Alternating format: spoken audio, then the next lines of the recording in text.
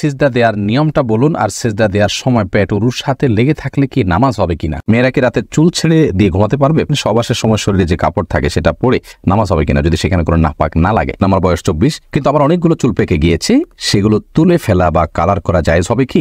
আমার স্বামীকে আমি অনেক ভালোবাসি, কিন্তু আমার স্বামী আমার প্রতি আন্তরিক নয়। আমার করণীয় কি? বাথরুমের বাইরে বিসমিল্লা বলে বাথরুমে অজু করলে অজু হবে? পরিবার অশান্তি দূর করার কিছু বিষয় বলুন। নামাজের তেলাওয়াত ফুল হলে সহযোগিতা করতে হবে কিনা? অজু করে শুয়ে থাকলে কি অজু ভেঙে যাবে? নামাজ পড়ার সময় কারোর সামনে দিয়ে গেলে কি গুণা হবে? না, আমার বাবা নেই, আমার বিয়ের উকিল কে হবে? মৃত ব্যক্তির পক্ষ থেকে রোজার নিয়াত করলে তাদের আমল নামে সব পৌঁছাবে কিনা? জামাতে প্রথম কাতারে ফরজ নামাজ আদায় করার সময় যদি অজু ভেঙে যায়, তাহলে করণীয় কি?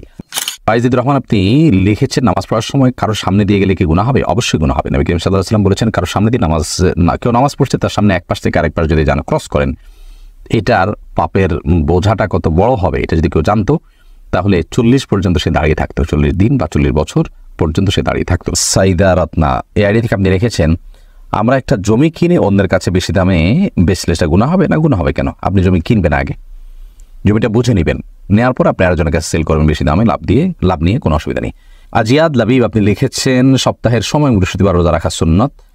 মৃত ব্যক্তির পক্ষ থেকে রোজার নিয়ত করলে তাদের আমল নামে সব পৌঁছাবে কিনা?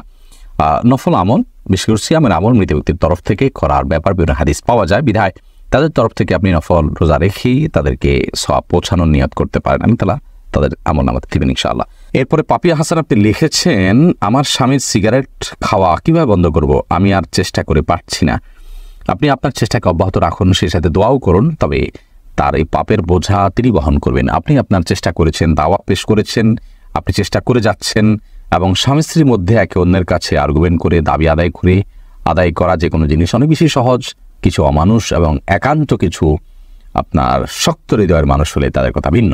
তো আপনি সেই চেষ্টাটা অব্যাহত রাখবেন। আপনার হাতে যে পাওয়ার আছে যে স্ত্রী, আপনার স্বামীকে আর্গুমেন্ট করে, আবেদন করে, আবদারের মাধ্যমে ভালোবাসার যে দাবি আছে, সে দাবি দিয়ে আপনি তাকে আপনার কথা শোনানোর জন্য আপনি চেষ্টা করবেন বিনয়ের সাথে। সেই চেষ্টা আপনি অব্যাহত রাখলেন, তারপর না করলে তিনি পাপিষ্ট হবেন, আপনার কোনো দায় নেই।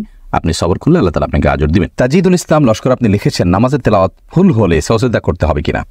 তেলাওয়াতের মধ্যে যদি বড় ভুল হয়, যেটাকে লাহনি জালি বলা হয়, অর্থের মধ্যে বিকৃতি ঘটে গেছে আপনি অল্প একটু তেলাওয়াত করছেন, সেখানে বড় ধরনের ত্রুটি ঘটে গেছে, তাহলে সেক্ষেত্রে তো আপনার সলাতি হবে না।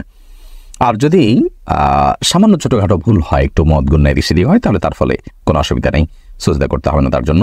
আর বি আলম আপনি লিখেছেন অজু করে শুয়ে থাকলে কি অজু ভেঙে যাবে? ঘুম না আসলে এমনি শুয়ে থাকলে না। অজু করে যে শুয়ে থাকলে অজু ভাঙ্গা হয়ে যাবে, এমন কোনো কথা নেই। বরং আপনার অজু করে যদি আপনি শুয়ে ঘুমিয়ে পড়েন তাহলে সেক্ষেত্রে আপনার অজু ভেঙে যাবে। আর যদি না ঘুমান, জেগে থাকেন, তাহলে ঘুম ভাঙবে না। এমডি আজিজুল ইসলাম হৃদয়, আপনি লিখেছেন পরিবার অশান্তি দূর করার কিছু বিষয়। বলুন, পরিবার অশান্তির জন্য, দূর করার জন্য আমরা ইতিপূর্বে বলেছি, স্বামী স্ত্রী উভয়ে দিন চর্চা করা, আল্লাহর কাছে পরিপূর্ণভাবে নিজেদেরকে সারেন্ডার করা, এটা জরুরি। এটা না হলে অশান্তি কখনো দূর করা সম্ভব নয়। যখন আমরা আল্লাহর কাছে সারেন্ডার করা শিখব, তখন আমাদের মধ্যে ধৈর্য আসবে, আমাদের মধ্যে সবর আসবে, আমাদের মধ্যে অল্প তুষ্টি আসবে, আমাদের মধ্যে একজন অন্যজনকে মেনে নেওয়ার মানসিকতা আসবে। নবী করিম সাল্লাহ সাল্লামের পারিবারিক জীবনকে আমাদের স্টাডি করা উচিত।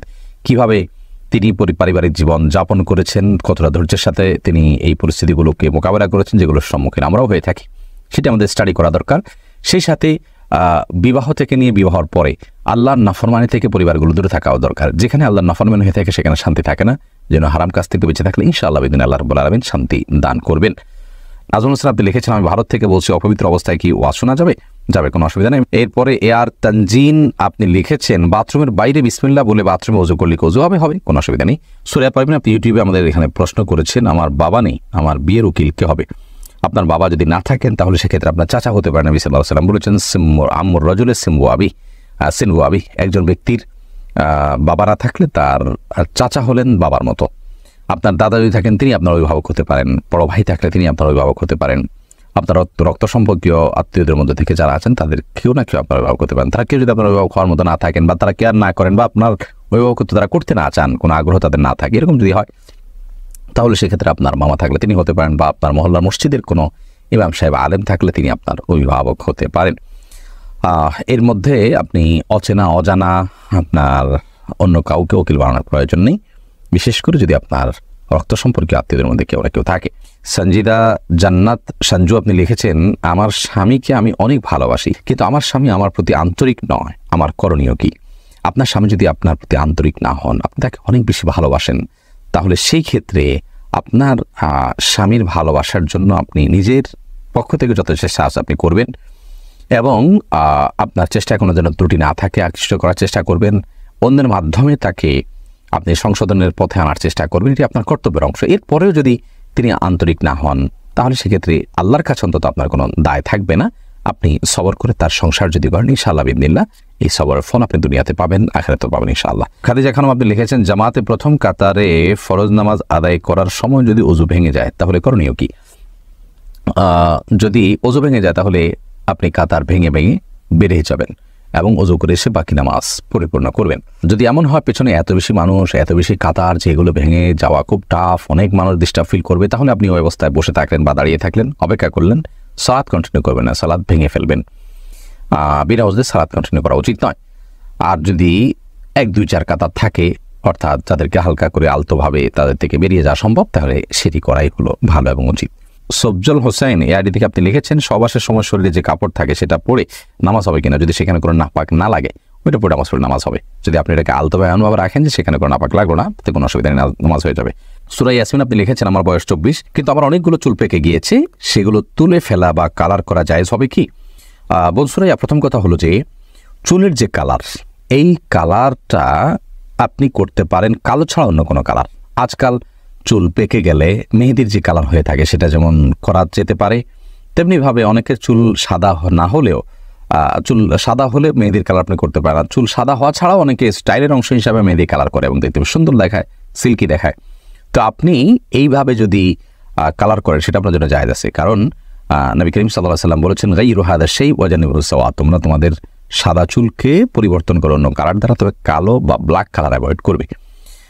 এর পাশাপাশি সাদা চুল যেগুলো পেকে যাওয়া চুল, সেগুলো তুলে ফেলা আমাদের স্বাস্থ্যের জন্য ভয়ঙ্কর ক্ষতিকর। এ বিষয়ে আমার একটা বক্তব্য আছে এবং আজকের বিজ্ঞানও এ বিষয়ে আপনার একমত যে সাদা বা পাকা চুল, এটা মানুষের তুলে ফেলাটা তার জন্য নানা দিক থেকে ক্ষতিকর হতে পারে। তো সেজন্য এই কাজটি করা যাবে না। আর কালো কালার করা যাবে না, কারণ তাতে এক ধরনের বয়স লুকানোর প্রচেষ্টা থাকে। এখন কেউ প্রশ্ন রাখতে পারেন, তাহলে একজন তরুণ, তিনি তো আর বয়স লুকানোর কিছু নেই তিনি আসলেই তরুণ।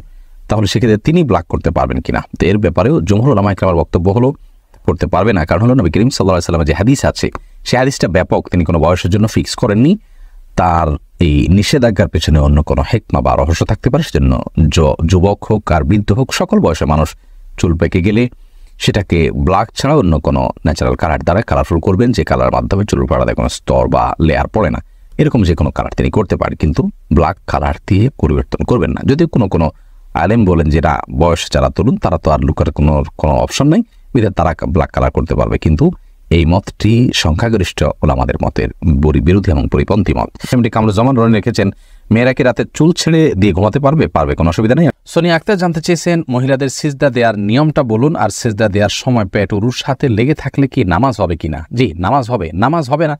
নারী পুরুষের সালাদ নিয়ে যে মত পার্থক্য আছে, এটাকে আমরা অনেকে অনেক বড় করে দেখি। বিষয়টা এরকম বড় কিছু না। আপনার এখানে যারাই এখতলাফ করে থাকেন জাস্ট এখানে পদ্ধতির উত্তম অনুত্তমার বিষয়টা নামাজ হওয়া না হওয়ার কোনো ইখতলাফ এখানে।